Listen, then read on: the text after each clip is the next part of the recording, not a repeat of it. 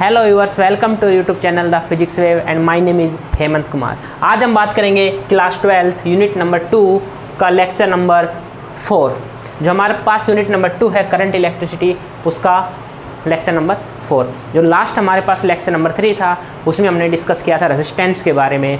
Resistance क्या होता है, किन फैक्टर पे डिपेंड करता है, वहाँ से हमने एक नई यूनिट निकाली थी रेजिस्टिविटी के बारे में हमने वहाँ पे स्टडी किया था।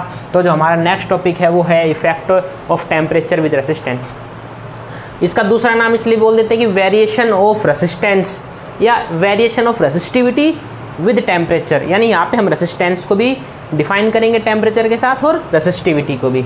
तो चलिए वी नो हमें ये बात पता है कि लास्ट हमने जब ओम्स लो को पढ़ा था तो ओम्स लो में हमने ये पढ़ा था M N square tau upon sorry L upon A अब तुम जी ओम्स लो ये कहाँ से आया? V equal to I R होता है। नहीं, हमने आपको दूसरा ओम्स लो कराया था।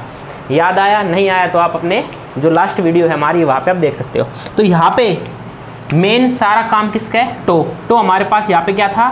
रिलैक्सेशन टाइम इस वीडियो को देखने से पहले जो आपके प्रीवियस वीडियो है, वो ज़रूरी है।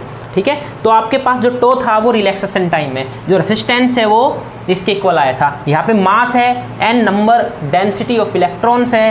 E electron tau relaxation time L is the length of conductor A is the area of conductor इनमें से जो मास आपके पास कॉन्स्टेंट रहेगा, जो नंबर ऑफ़ इलेक्ट्रॉन्स है पर यूनिट वॉल्यूम वो भी आपके साथ फिक्स रहेंगे। जो ई e है, वो भी चार्ज उनका फिक्स रहेगा। लेंथ भी हम कंडक्टर की मानते हैं कि फिक्स रहेगी, एरिया भी फिक्स रहेगा, लेकिन सारा खेल किसके? आपके पास रिलैक्सेशन टाइम का। यहाँ से हमें क्या पता चलता है कि जो आर है वो इनवर्सली प्रपोर्शनल है किसके? ओके।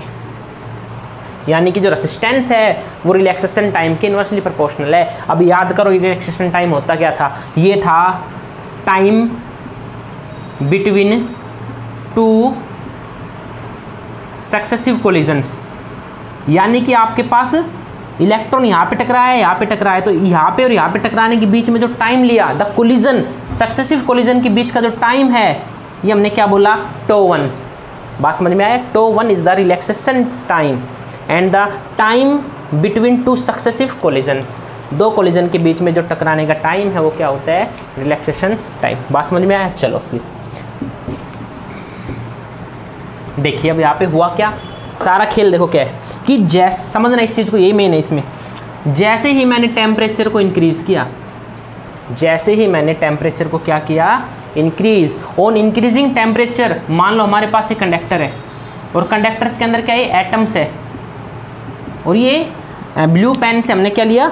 एटम्स और जो मैं ब्लैक पेन है ये, इसको मैं इंडिकेट कर रहा हूँ इलेक्ट्रॉन्स अब जैसे ही मैंने टेम्परेचर बढ़ाया टेम्परेचर बढ़ाने पे क्या होगा कि जो एटम्स है जो आयंस है, जो मोलिक्यूल्स है, वो क्या करेंगे? वो वाइब्रेट करना स्टार्ट कर देंगे। ये क्या करना स्टार्ट कर देंगे? अपनी मेन पोजिशंस पे वाइब्रेट अब सोचो, अगर ये वाइब्रेट करेंगे तो क्या जो इलेक्ट्रॉन है, वो आसानी से यहाँ पे आएगा? नहीं आएगा। वो क्या करेगा? वो पहले यहाँ पे टकराएगा, फिर यहाँ पे टकराएगा और कोलिजन करने की कोलिजन का जो टाइम है, वो क्या हो जाएगा? कम हो जाएगा। यानी कि वो पहले, अगर हमारे पास ये ऐसे रखे हुए हैं। और वो यहाँ पे टकरा रहे हैं। यहाँ पे टकरा है, यहाँ पे टकरा है। लेकिन अब क्या हो रहा है? वो वाइब्रेट कर रहे हैं। अब वाइब्रेशन करने की वजह से जो टाइम है, वो घट गया। रिलैक्सेशन टाइम क्या हो गया? घट गया। अरे भाई, आप मान लो किसी मेले में हो और आपको बोला, आपको भाग के यहाँ से यहाँ पे आना है। तो आप भाग के आ रहे हो आराम से। टक्कर भी खा रहे हो। रिलैक्सेशन टाइम सपोज़ करो बढ़ रहा आप आप कुलिजन कर रहे हो। लेकिन अगर मैंने बोला, मेले के अंदर बम है और वहाँ पे फिर जो जितने भी क्राउड है, वो भी भागने लगी इधर उधर। और फिर आपको बोला, यहाँ पे आओ। क्या आप आसानी से आ पाओगे? नहीं आ पाओगे। क्यों? क्योंकि आप बार बार टकराओगे जल्दी जल्दी टकराओगे किसी ना किसी पर्सन से। सिमिलरली जो इलेक्ट्रॉन्स है, वो टकराएगा बार बार किससे? एटम से या आयन से, जो क्या कर रहे हैं? वाइब्रेट कर रहे हैं। वो टकराएगा जल्दी जल्दी तो रिलैक्सेशन टाइम क्या हो जाएगा? कम। टेम्परेचर बढ़ने पे रिलैक्सेशन टाइम क्या हो गया? कम हो गया। बात समझ में आई? और रिलैक्सेशन टाइम कम हो गया। अर्थात रेसिस्टेंस बढ़ गया। बात समझ में आया? मतलब कि टेम्परेचर बढ़ाने पे मेटल्स का या कंडक्टर्स का रेसिस्टेंस बढ़ता है। और क्यों बढ़ता है? यह रीज़न मैंने आपको यहाँ पे बताया। बात समझ में आया? यानी कि टेम्परेचर बढ़ाऊँगा तो इसको आने में क्या होगी यहाँ पे? प्रॉब्लम होगी इलेक्ट्रॉन को यहाँ तक पहुँचने में। और प्रॉब्लम ही क्या होता है? रेसिस्टेंस होता है। है ना? आसानी से नहीं आने देगा। आए आएगा नहीं आसानी से। जब आसानी से वो नहीं आएगा, इसका मतलब रेसिस्टेंस बढ़ गया। तो इस बात को हमने याद रखना है। बात समझ में आया? तो हमने क्या याद रखना है? कि ऑन इंक्रीजिंग टेम्परेचर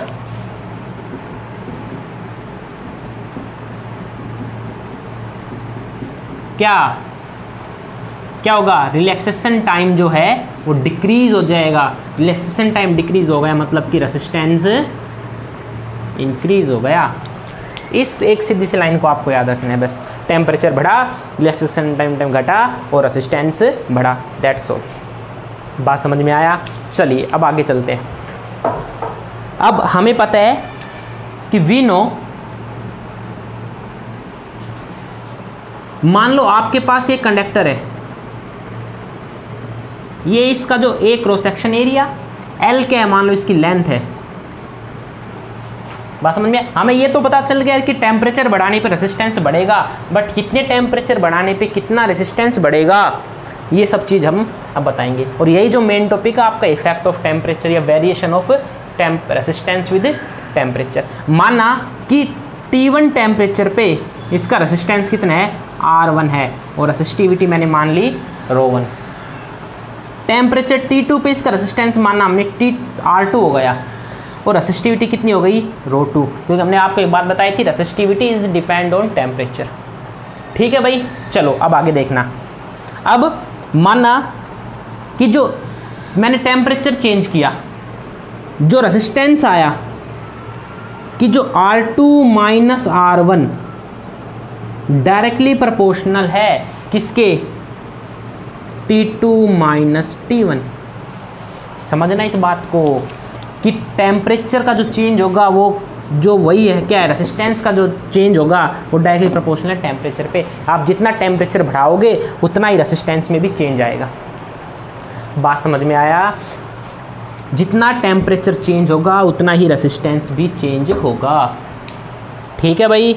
और R2 two minus R one directly proportional to R one जो चेंज इन रेसिस्टेंस है, वो डायरेक्टली प्रपोर्शनल किसके है? इनिशियल रेसिस्टेंस के, यानी जो आपका स्टार्टिंग का उसका रेसिस्टेंस रहेगा। कैसे? देखो, मान लो ये आपके पास कंडक्टर है, इसकी लेंथ एल है। आर वन पे इसका टेम्परेचर है, मान लो टी वन पे इसका जो रेसिस्टेंस है वो हंड्रेड ओम है। टी टू पे इसका जो रेसिस्टेंस हो गया वो वन हंड्रेड टेन ओम हो गया। बात समझ में आई? T1 पे 100 ओम T2 पे 110 ओम अब अगर मैंने लेंथ को डबल कर दिया 2L लेंथ कर दी तो हमें पता है कि लेंथ डबल हो गई तो रेसिस्टेंस भी क्या हो गया? डबल कितना हो गया? 200 ओम अब मैंने टेम्प टेम्परेचर T1 पे इसका रेसिस्टेंस कितना हो गया मानो 200 ओम हो गया तो T2 पे इसका कितना हो गया मैंने मानना आर टू कितना हो गया? ये टेन बड़ा था, इसमें इसमें कितना बढ़ेगा? 20 ओम। यानी इसमें टेम्परेचर बढ़ गया। सॉरी रेसिस्टेंस बढ़ गया। बात समझ में आया? यानी किस पे डिपेंड कर रहा है ये? इनिशियल टाइम रेसिस्टेंस पे। यहाँ पे 200 था तो 220 हो गया 100 था तो 110 हो गया। यहाँ पे 10 बढ़ा, यहाँ पे 20 बढ़ा है। तो जो चेंज इन रेसिस्टेंस होगा, यहाँ पे 20 आएगा, यहाँ पे 10 आएगा। तो चेंज इन जो रेसिस्टेंस हो किस पे डिपेंड कर रहा है, किस पे डायरेक्टली प्रोपोर्शनल है आपके पास इनिशियल रेसिस्टेंस पे। जब मैंने इन दोनों इक्वेशंस को इक्वेट किया इक्वल रखा, हमें पता है कि जब हम, हमारे पास ऐसा आता है तो हम क्या करते हैं कि यहाँ पे R two minus R one directly proportional to R one T two minus T one समझ में आया? चलो भाई, आ गया यहाँ तक। उसके बाद हमें पता है जो प्रपोर्शनलिटी को है, हम बर्दाश्त नहीं करते, हम नहीं यूज़ करते तो उसकी जगह हम कॉन्स्टेंट लेके आते हैं? और यहाँ पे कॉन्स्टेंट आपके पास आया R two minus R one R one T two minus T one चलो, इसको मैं अलग पेन से यूज़ करते हैं, इसको हम रेड पेन से लिख लेंगे, ये। ये यहाँ पे प्रपोर्शनलिटी नहीं है, ये यहाँ पे टेम्परेचर कोफिशियंट है। एस चलो, एक मिनट वेट इसको इस तरह करते हैं। ये देखो। बात समझ में आई? अल्फ़ा इक्वल टू रख के ये डायरेक्टली प्रोपोर्शनल नहीं है, ये अल्फ़ा है। ये कॉन्स्टेंट है। और एक कॉन्स्टेंट का नाम क्या है? इसको बोलते हैं हम, क्या बोलते हैं इसको हम? टेम्परेचर कोफिशेंट इसको क्या बोलते हैं? Temperature coefficient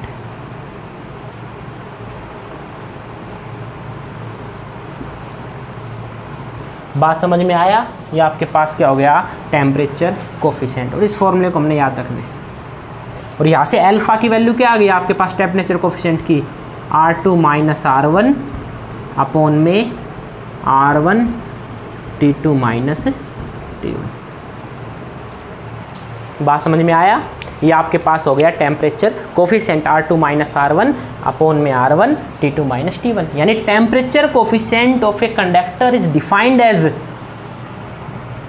change in resistance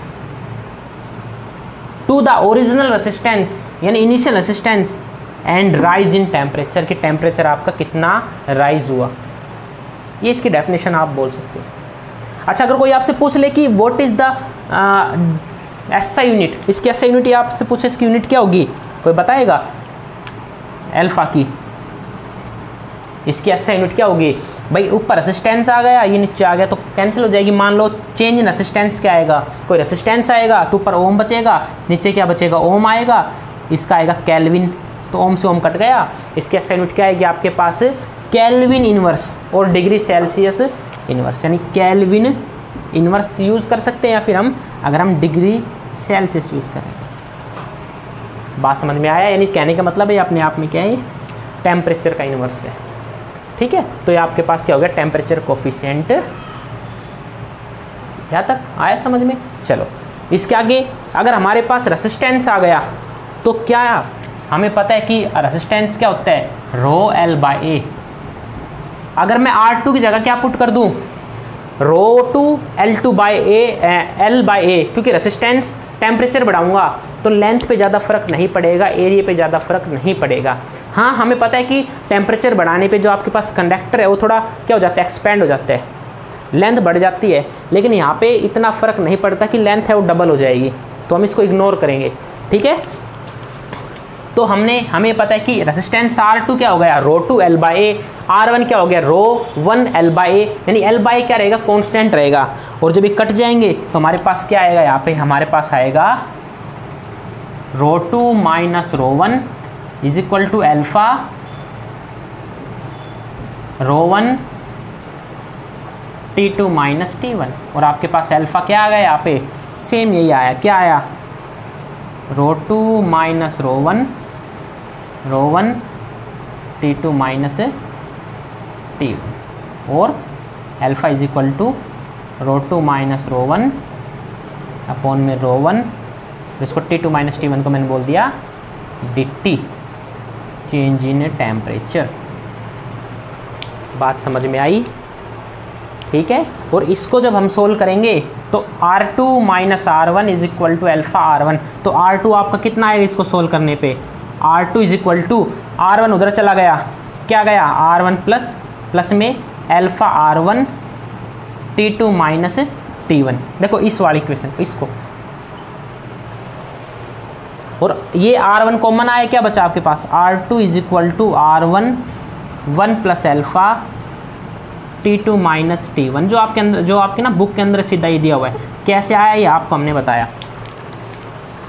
बात समझ में आया यही है फॉर्मूला बुक के अंदर डायरेक्ट है। कि वी नो दिस कैसे? This is because of this ये आपके पास इसका प्रूफ है तो ये आपके पास हो गया effect of temperature with resistance इसके बाद हमारे पास तीन ग्राफ है। चलो अब ग्राफ को स्टडी करते हैं इसके बाद।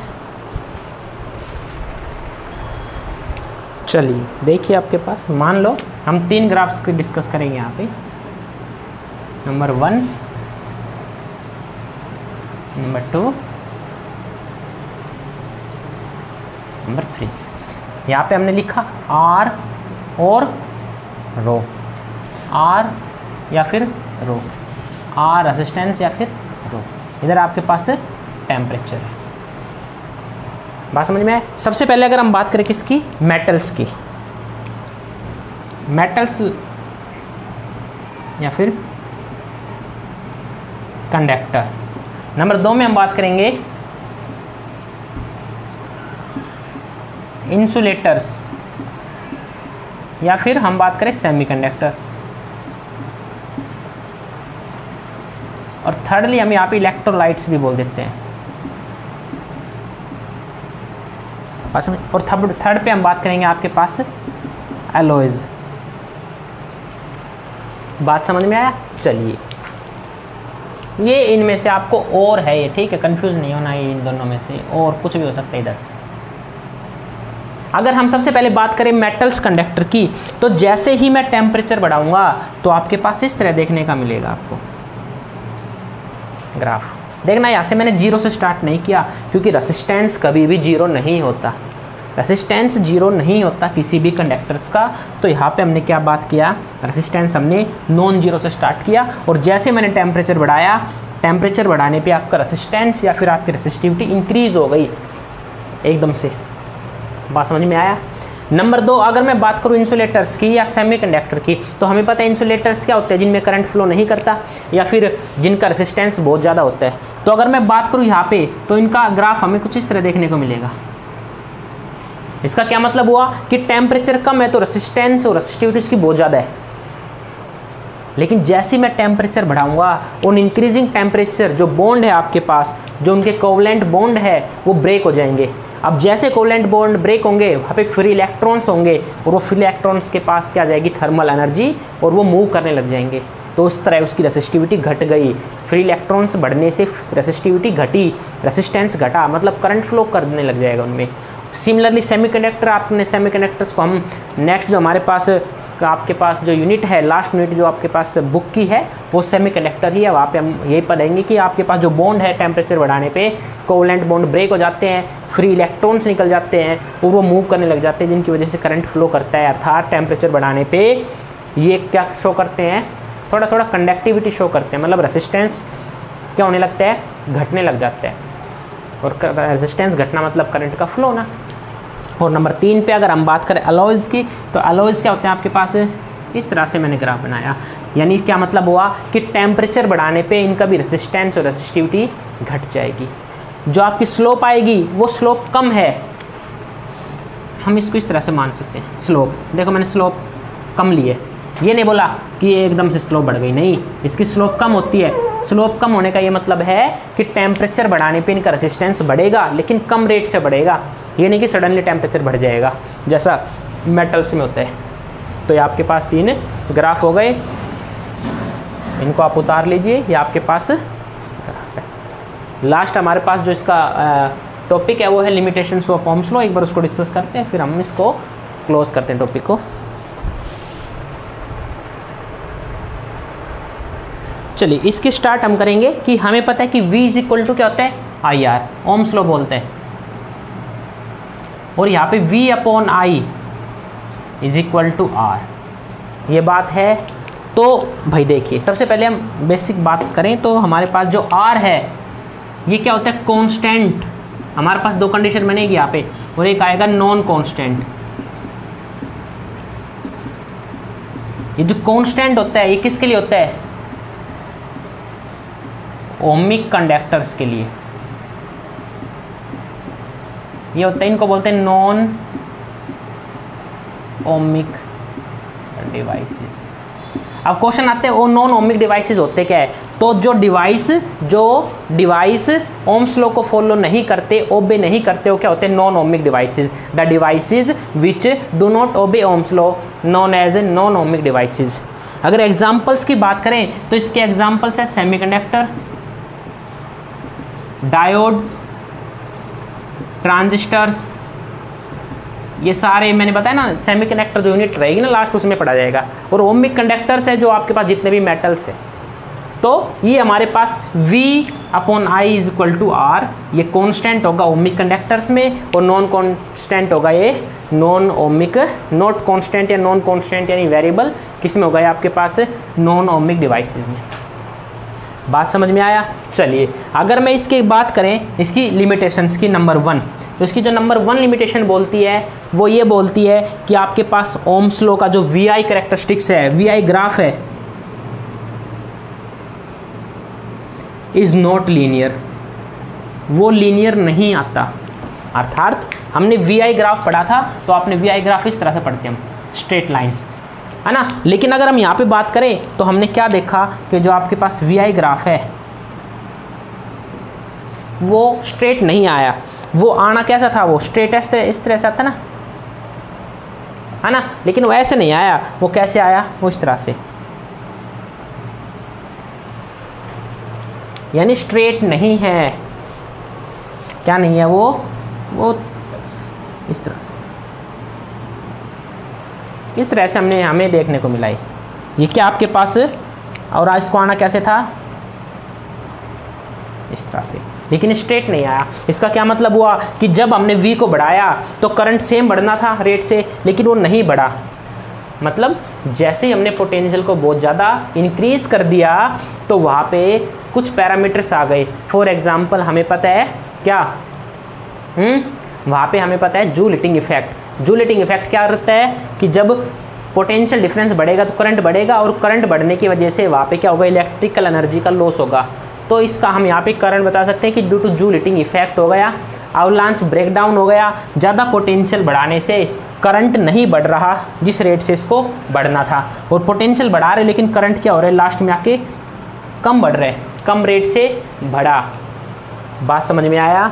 तो इसका हो गया पहला नोट लीनियर अगर नंबर दो की बात करें तो नंबर दो की बात करेंगे कि जो आपके पास ग्राफ है वी आई कि जो करंट है depends on value of V depends on value of V V की वैल्यू पर डिपेंड कर रहा है, और आपको ग्राफ कुछ इस तरह से देखने को मिलेगा।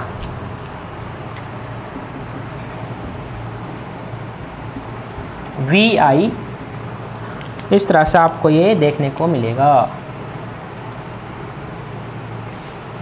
आप कहोगे ये क्या हो गया? जब मैंने वोल्टेज को इंक्रीज किया पॉजिटिव पोटेंशियल बढ़ाया तो करंट पहले नहीं बढ़ रहा था, फिर एकदम से बढ़ गया। और जब मैंने पोटेंशियल को माइ माइनस के मतलब नेगेटिव पोटेंशियल को बढ़ाया तो करंट नहीं बढ़ा, और एकदम से क्या हो गया? इंक्रीज हुआ सडनली इसको बोलते हैं ब्रेक डाउन ये भी आप सेमी कनेक्ट में पढ़ोगे, और एक्चुअली में देखा जाए तो ये जो आपके पास है, ये डायोड का आपके पास ग्राफ है। फॉरवर्ड बाइस और रिवर्स बाइसिंग ये भी आप वहाँ पे पढ़ोगे। तो सीधी सी बात है कि वी आई डिपेंड नहीं कर रहे हैं, एक दो सॉरी डिपेंड कर रहे लेकिन इस तरह से स्ट्रेट लाइन नहीं बन रही। नहीं बनी ना यहाँ पे स्ट्रेट लाइन तो यहाँ पे भी क्या हो गया? फेलियर ऑफ़ ओम्स लो और नंबर थ्री हमारे पास इस तरह का आपको ग्राफ देखने को मिलेगा।